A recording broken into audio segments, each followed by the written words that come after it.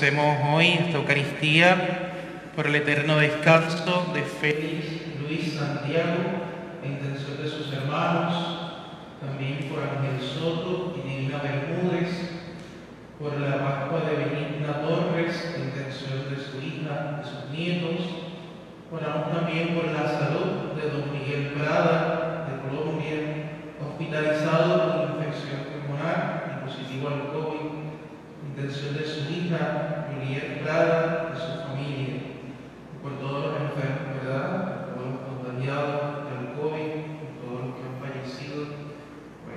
pandemia para que se les dé este descanso eterno. Hoy también encomendamos a todos los seminaristas de nuestra vida, de Puerto Rico, especialmente aquellos que ingresan al seminario interdiocesano en Santa María, Madre de la Divina Providencia, para continuar su proceso formativo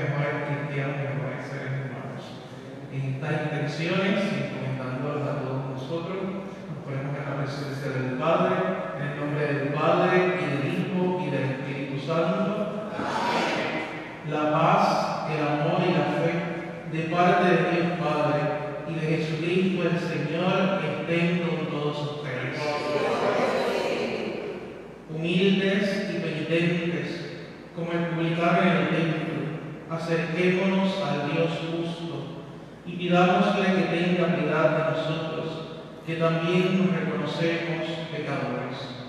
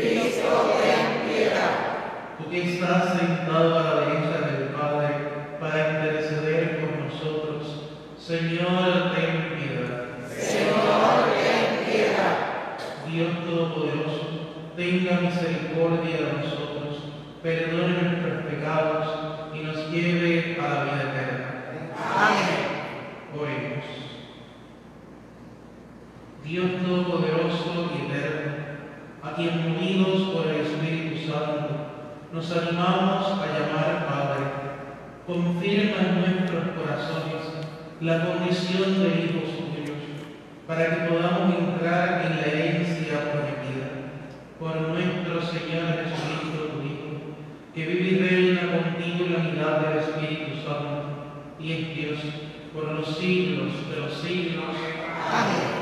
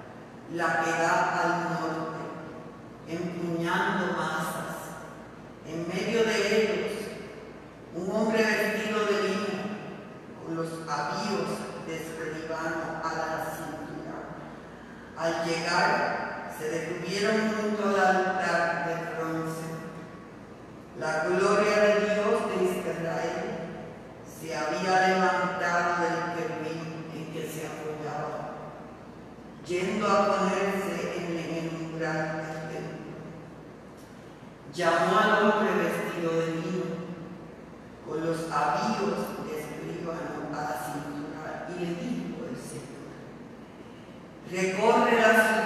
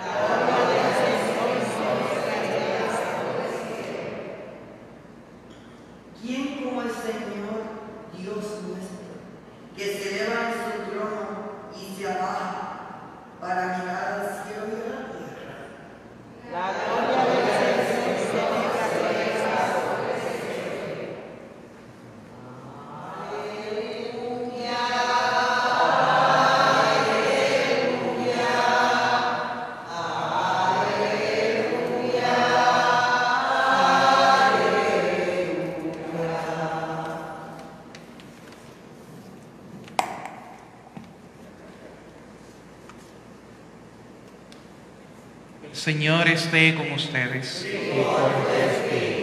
Evangelio de nuestro Señor Jesucristo según San Mateo. Gloria a ti, Señor. En aquel tiempo dijo Jesús a sus discípulos, si tu hermano peca, repréndelo a solas entre los dos. Si te hace caso, has salvado a tu hermano. Si no te hace caso, llama a otro o a otros dos, para que todo el asunto quede confirmado por boca de dos o tres testigos. Si no les hace caso, díselo a la comunidad.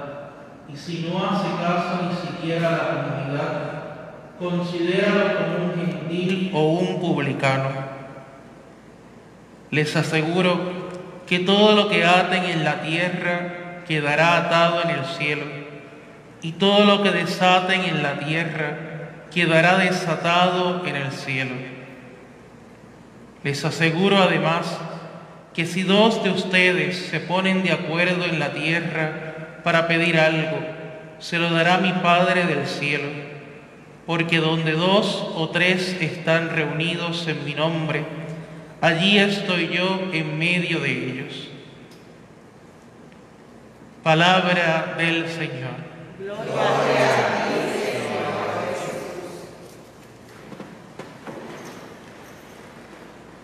Hoy en el Evangelio podríamos decir que se nos dan tres claves o tres lecciones de lo que debe de ser la vida cristiana, pero sobre todo la vida en comunidad.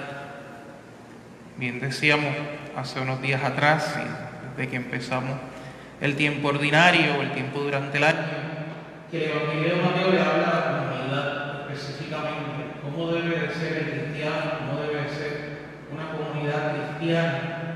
Y hoy me le da tres lecciones. La primera es la corrección fraterna. La corrección fraterna, corregir al hermano como una obra de misericordia.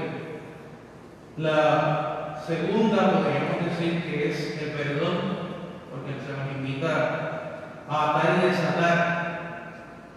Y el perdón es una manera de desatar. Y también, ya la tercera, la tercera lección es la oración para que la comunidad pueda vivir en comunión, como estamos llamados los cristianos, tiene que vivir desde la oración. Sin la oración no podemos estar en comunión, sin la oración pues Jesucristo no se puede hacer presente en medio nuestro. Si tu hermano peca, reprende las olas entre los Dios. Si te hace caso, pásalo a tu hermano. Cuando vemos que algún hermano en la comunidad, en la familia, en la amistad, amigos, compañeros de trabajo, en la misma iglesia. Vemos que hay algo como que, como que no cuadra, como que eso como que no cuadra con el evangelio, esa actitud, esa manera de hablar, esa manera de Pues uno está llamado a corregir. Pero antes de corregir es muy importante nosotros llevarlo a la oración.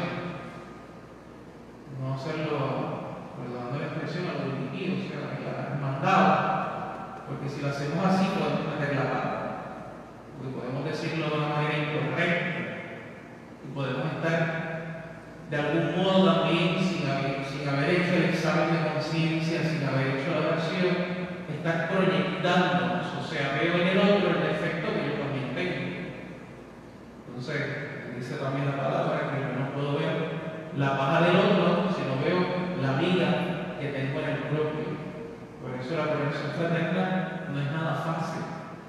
Además que conlleva mucha humildad también. Porque cuando yo doy la corrección fraterna, primero tengo que estar abierto a recibirla.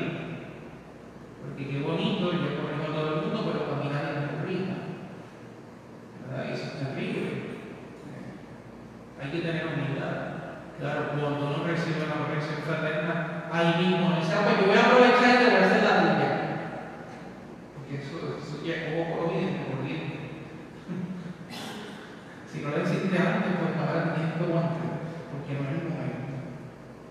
Entonces, la corrección fraterna, lo más importante.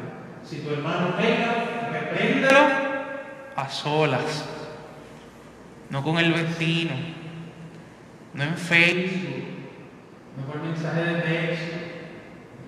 A solas.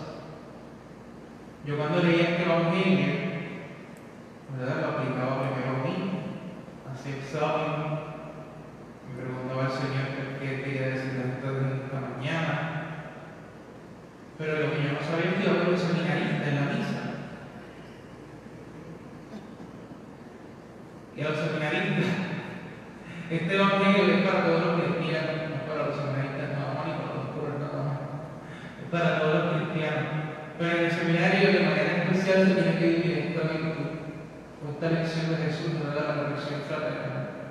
Cuando en el seminario no se vive la corrección fraterna, faltamos. Decíamos Santo Guillermo mucho, que San José María, que cuando él llegaba a casa, donde se formaban sus hijas, sus hijos espirituales, una de las cosas que preguntaba era si había corrección fraterna. Porque si no hay corrección fraterna, la cosa va mal.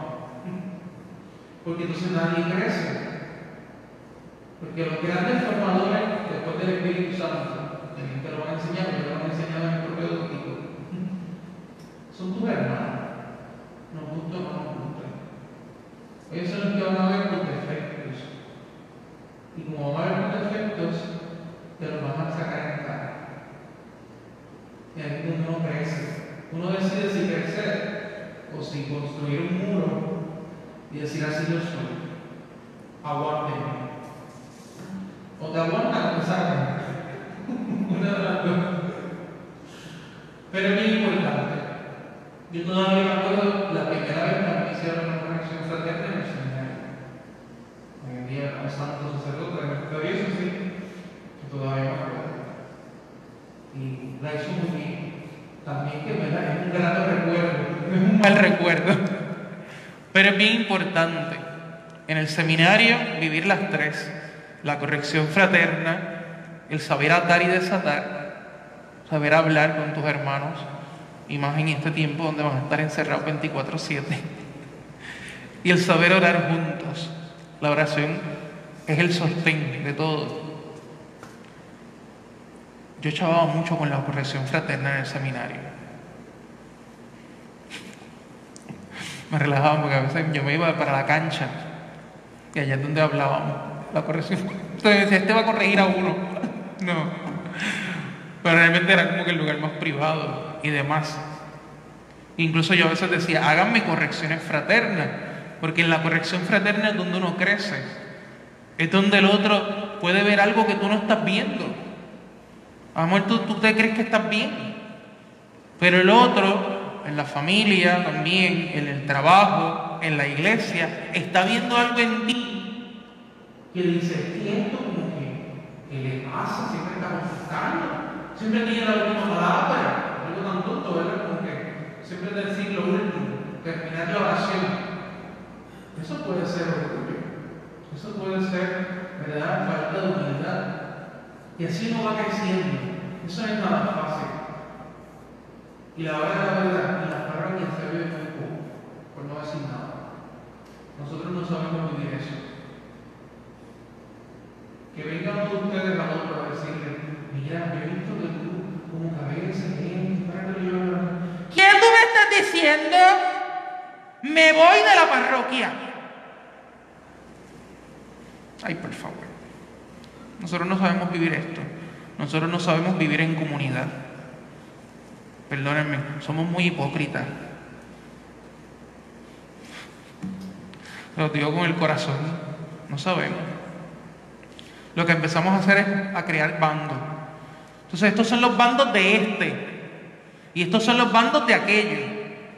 Y estos son los grupos de los carismáticos. Y estos son los de Juan 23. Y estos son los marianos los del Rosario. Y eso que somos iglesia.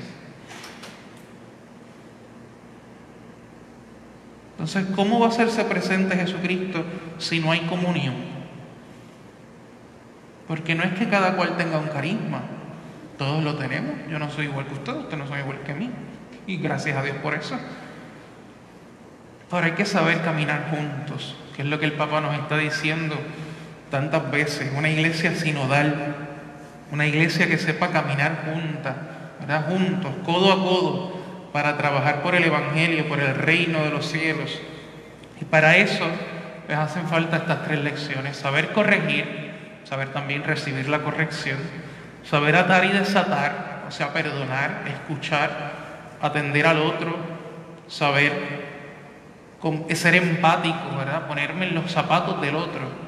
Y sobre todo orar. Sin la oración no es posible caminar como iglesia, no es posible crecer como cristiano, no es posible perseverar en la fe, porque son muchas las batallas, como bien decía el Evangelio del domingo, son muchas las tormentas. Tenemos que decir, Señor, sálvame, Señor, socórreme, hazte presente en medio nuestro. Que así sea.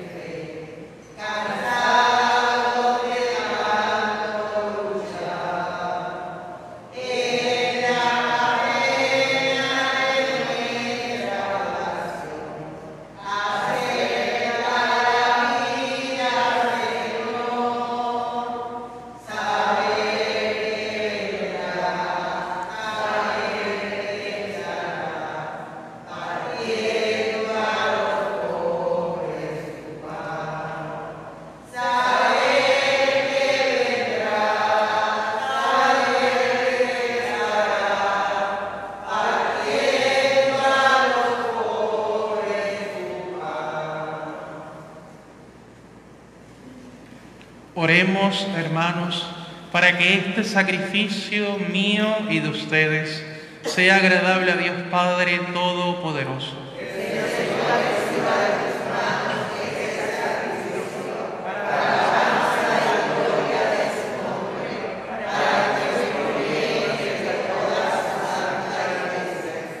Padre de bondad, acepta los dones que misericordiosamente has dado a tu iglesia y que con tu poder conviertes en sacramento de salvación.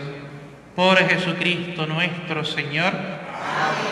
El Señor esté con ustedes. Levantemos el corazón. Demos gracias al Señor nuestro Dios.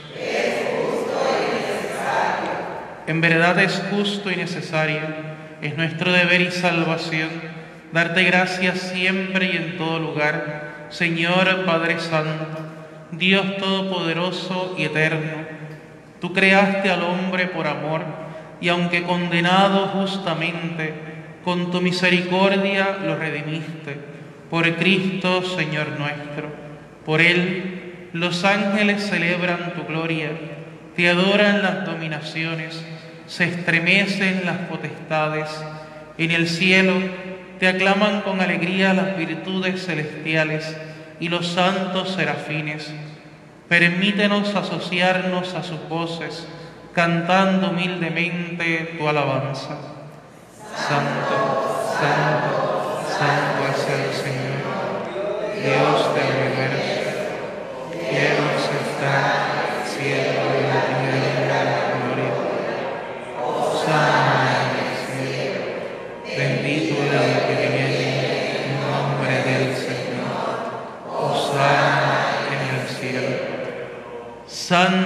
eres en verdad, Señor, fuente de toda santidad.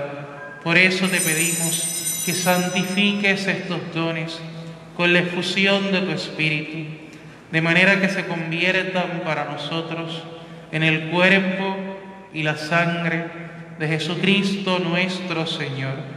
Él mismo, cuando iba a ser entregado a su pasión, voluntariamente aceptada, tomó pan. Dándote gracias, lo partió y lo dio a sus discípulos diciendo, tomen y coman todos de él, porque esto es mi cuerpo, que será entregado por ustedes.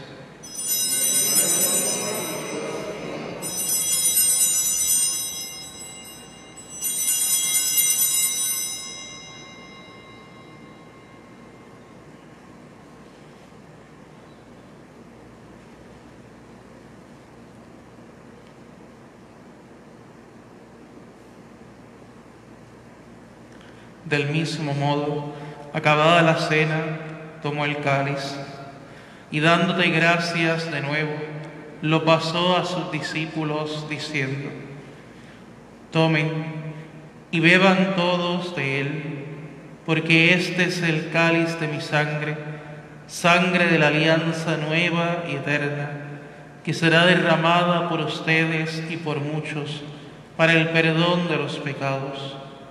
Hagan esto en conmemoración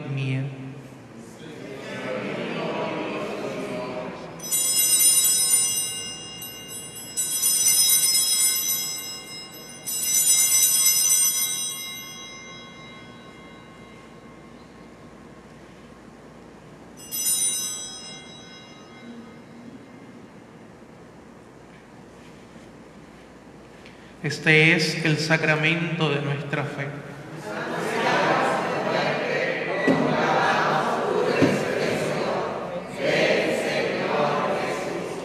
Así, Padre, al celebrar ahora el memorial de la muerte y resurrección de tu Hijo, te ofrecemos el pan de vida y el cáliz de salvación, y te damos gracias porque nos haces dignos de servirte en tu presencia.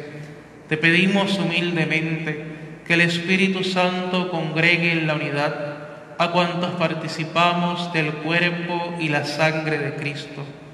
Acuérdate, Señor, de tu iglesia extendida por toda la tierra, y con el Papa Francisco, con nuestro obispo Rubén Antonio y todos los pastores que cuidan de tu pueblo, llévala a su perfección por la caridad. Acuérdate también de nuestros hermanos que se durmieron en la esperanza de la resurrección y de todos los que han muerto en tu misericordia. Admítelos a contemplar la luz de tu rostro. Ten misericordia de todos nosotros y así con María, la Virgen Madre de Dios, San José su esposo, los apóstoles y cuantos vivieron en tu amistad a través de los tiempos, merezcamos por tu Hijo Jesucristo compartir la vida eterna y cantar tus alabanzas. Por Cristo, con Él y en Él, a ti Dios Padre Omnipotente, en la unidad del Espíritu Santo, todo honor y toda gloria, por los siglos de los siglos. Fieles a la recomendación del Salvador y siguiendo su divina enseñanza, nos atrevemos a decir, Padre nuestro que estás en el cielo, santificado sea tu nombre, venga a nosotros tu reino, hágase tu voluntad en la tierra como en el cielo. Danos hoy nuestro pan de cada día, perdona nuestras ofensas como también nosotros perdonamos a los que nos ofenden. No nos dejes caer en la tentación y líbranos del mal. Líbranos de todos los males, Señor, y concédenos la paz en nuestros días, para que, ayudados por tu misericordia, vivamos siempre libres de pecado y protegidos de toda perturbación, mientras esperamos la gloriosa venida de nuestro Salvador Jesucristo.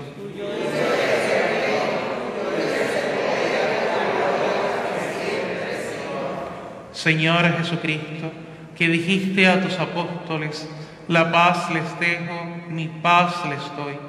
No tengas en cuenta nuestros pecados, sino la fe de tu iglesia, y conforme a tu palabra, concede la paz y la unidad. Tú que vives y reinas por los siglos de los siglos. La paz del Señor esté siempre con ustedes. Démonos un gesto de comunión fraterna.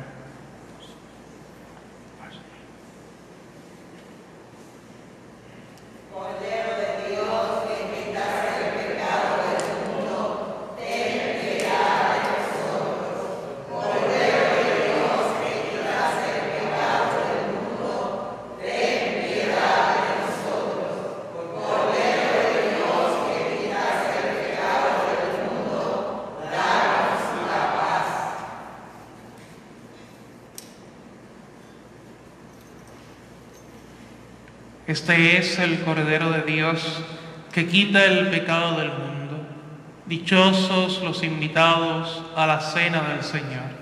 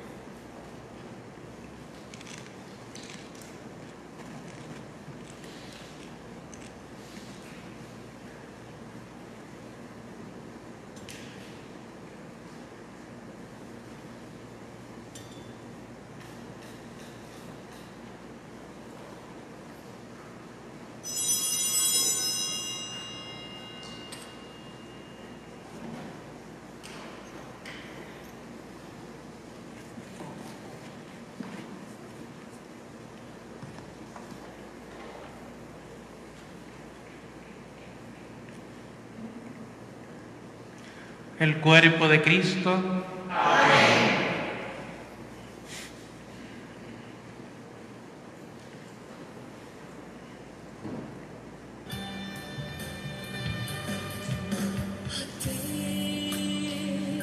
el más inocente.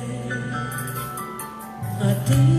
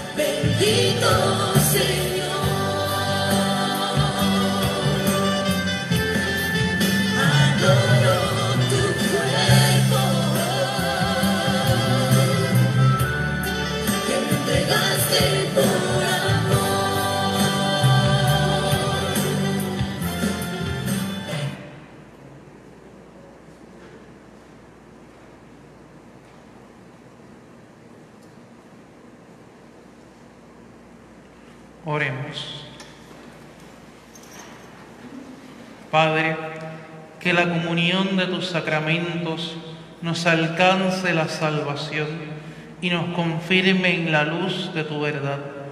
Por Jesucristo nuestro Señor.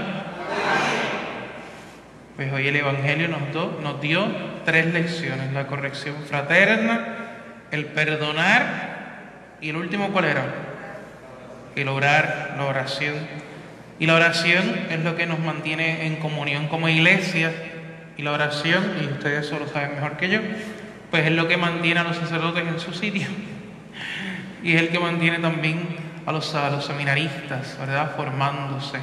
Entonces, que nos comprometamos a orar por todos los seminaristas, como yo sé que muchos de ustedes hacen, eh, pero de manera pues muy especial durante este semestre, durante lo que queda de año, para que sea un semestre de gran crecimiento humano y espiritual en el Seminario Interdiocesano Santa María, Madre de la Divina Providencia, y sobre todo pues porque contamos con dos seminaristas, con Luis Raúl y con Héctor, que van a estar allá en el seminario formándose, y por estos chicos nuevos, ¿verdad?, que entran hoy, para que sea una experiencia grata, una experiencia de Jesucristo, sea cual sea la vocación a la que Dios les llame, ¿verdad? No necesariamente todos los que entran van a terminar siendo sacerdotes, pero sí que sean santos, que esa es la vocación principal a la que se nos llama. Qué mejor que pues comendarlo a, la- a las manos de la Virgen. Cuando contemplamos la Virgen de la Monserrate, el niño Jesús está, ¿verdad?, en su, en su reposo, está en sus, en sus muslos, está descansando, está confiado. Pues así también pues tenemos que estar cada uno de nosotros. Pero de manera especial pues un seminarista tiene que confiar en el proceso formativo. Primero en Dios, en el Espíritu Santo, tanto Luis Raúl como tú, ¿verdad? Luis Raúl pues también lo hacemos presente de manera espiritual y que estén así confiados, sabiéndose protegidos por una madre y también por una iglesia, porque María es tipo de la iglesia, es imagen de la iglesia. Y así como María nos cuida, pues también la iglesia nos protege. Entonces vamos a encomendar la vocación de estos seminaristas, especialmente los nuestros, Héctor y Luis, a nuestra madre. Dios te salve María, llena eres de gracia, el Señor es contigo. Bendita tú eres entre todas las mujeres, y bendito es el fruto de tu vientre Jesús. Santa María, Madre de Dios, ruega por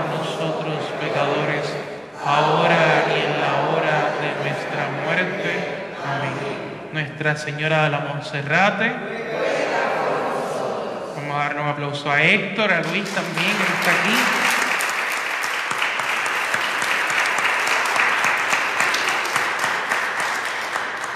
Y comprometernos, ¿verdad?, con esa oración perseverante por cada uno de ellos. El Señor esté con ustedes y la bendición de Dios Todopoderoso, del Padre, del Hijo y del Espíritu Santo descienda sobre ustedes y permanezca siempre. En la alegría del Señor, que es nuestra fuerza, pueden ir en paz. ¿Dónde